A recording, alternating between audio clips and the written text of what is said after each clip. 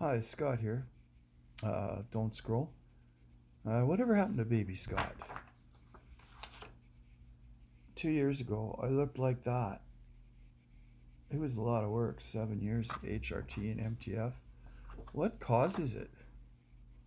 I'm detransitioning now for two years. And my friend is pain.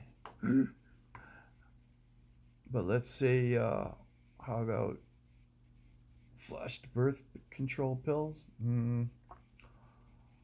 Lots of hermaphrodite frogs out there. Was it the invention of nylon and polyester and rayon? Mm. Or how about superheroes? They kind of wore pantyhose, right?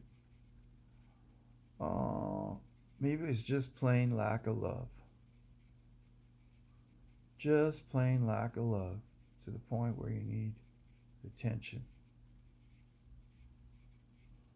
And uh, yeah, I got a lot of attention. I'd go into the gas station and they'd say, Oh, can we help you, sir? Yeah, that would that would get me upset.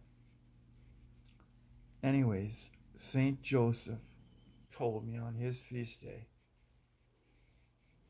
I don't have no direct lines. I just knew. I was in front of the Blessed Sacrament, and he said, "You better dump this." So I called up a girlfriend of mine, and I said, "Quick, bring over some cotton."